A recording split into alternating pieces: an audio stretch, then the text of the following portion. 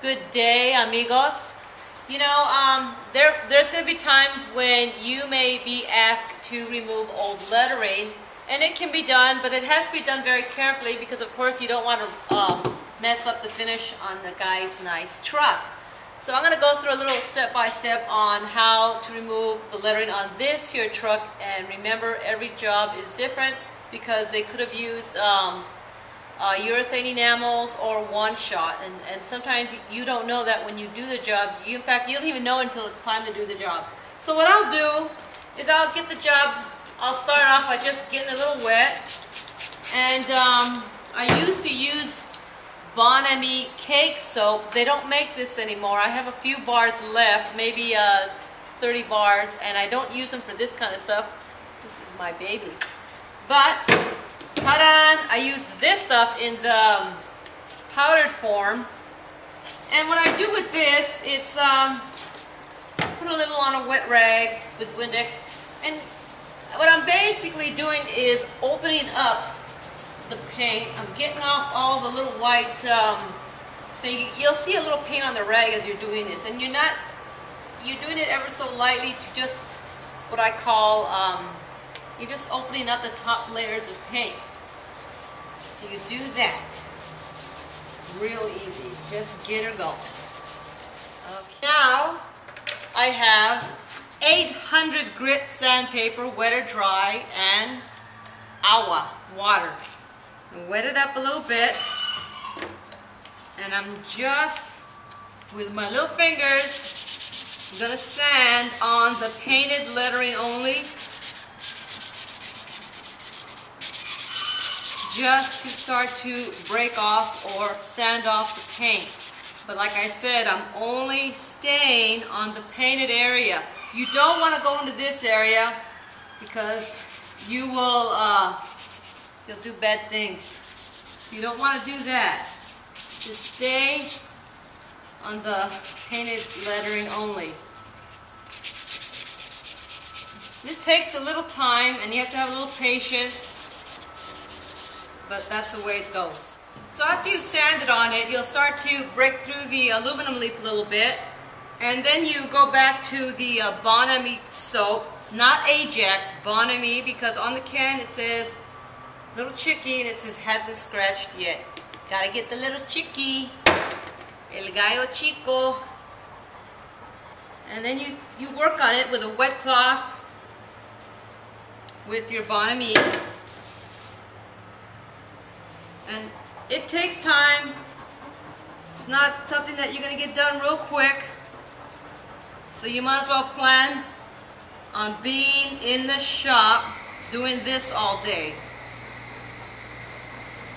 Or you could just call an auto detailer. But what fun is that to have somebody else do this uh, work? Okay, and now we're going to do the very nasty thing. Easy Off Oven Cleaner, extra heavy duty. Uh, the active ingredient in this product is lye. Lye will burn your skin, cause you to go blind, and uh, very bad things. But we also use it to take the lettering off. And I've masked off a great deal of the vehicle, including the stainless steel, aluminum, things like that, because it will um, cause the finish to turn white. It'll, it'll kill it. So you take your Easy Off Oven Cleaner, shake it up, baby. Stand back because you don't want to get, you don't want to inhale this stuff. It's very bad stuff. Stand back, see how far back, and just a little bit at a time. You don't flood it out. You just put it on there a little bit on at a time. Almost like uh, you're spray painting a wall or something. Very nice.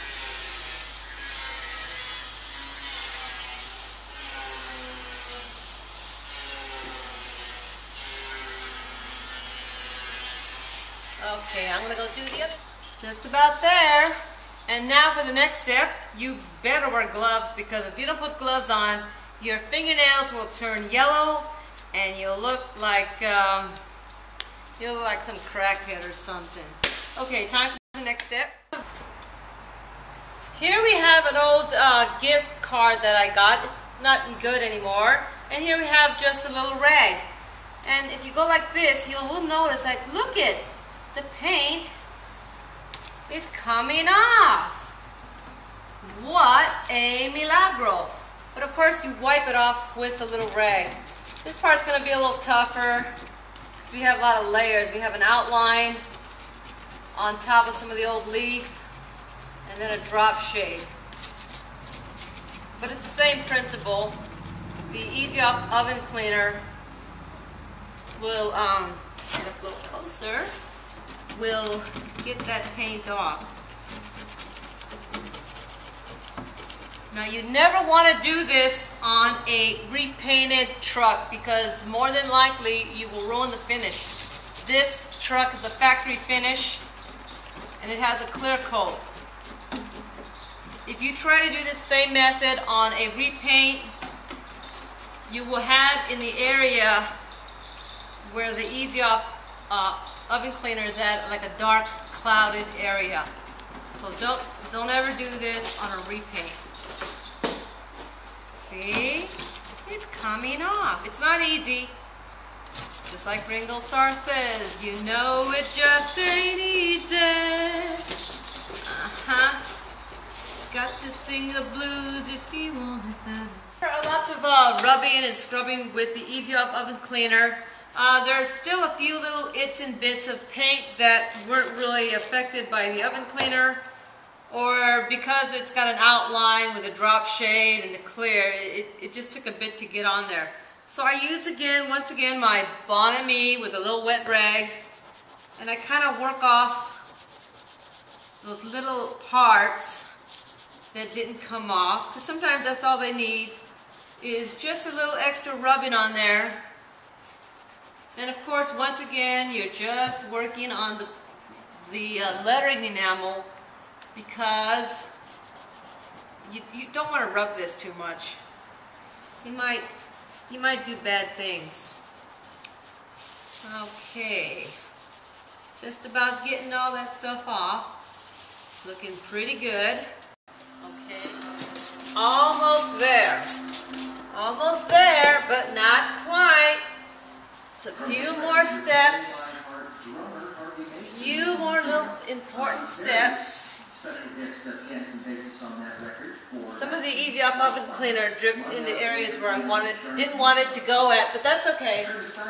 But one more thing, two more things, maybe three. Not too bad. Ah, what a lot of work. See my breath? It's cold in here. Okay, so now we have the uh, magical buffer with the variable speeds, the little Makita.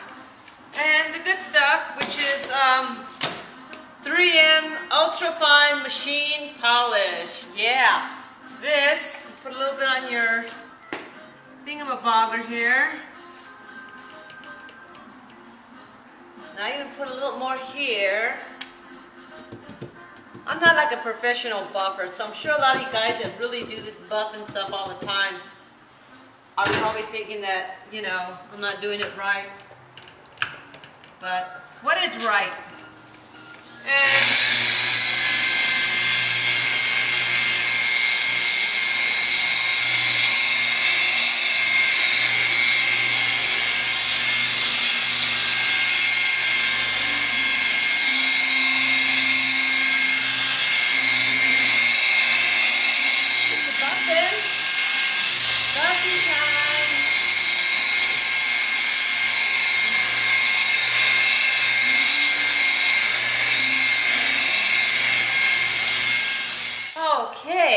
like we're all done now, ready to go, ready for the new lettering. And um, there is, of course, a very slight ghost image of the old lettering on here, but when I put on the new lettering, you won't see that. It'll be covered up by the new lettering. Thank goodness.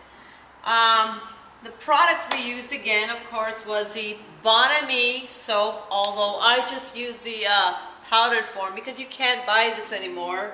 I wish Bon Ami would make this again.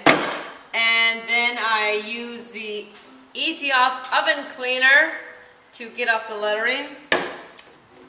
And the 3M Ultra Fine Machine Polish polishing stuff with the buffer, my little friend. So there you go. So, you know, overall, if a customer um, asks you to take the lettering off, you got to let them know ahead of time that it's not going to look like the way it looked when it came out the factory. You're still going to have that ghost image, but this is just another way of, a, of having to redo the lettering without having to actually repaint the doors. Repainting the doors would cost more, but it would be perfect. This is a uh, low-cost way that they can uh, change the lettering on a truck and put a new name. So there you go. So if I can do it, you can do it because, uh, you know, it doesn't take that much talent to do this. Just a soft, light touch. There you go. All right, talk to you later. See ya.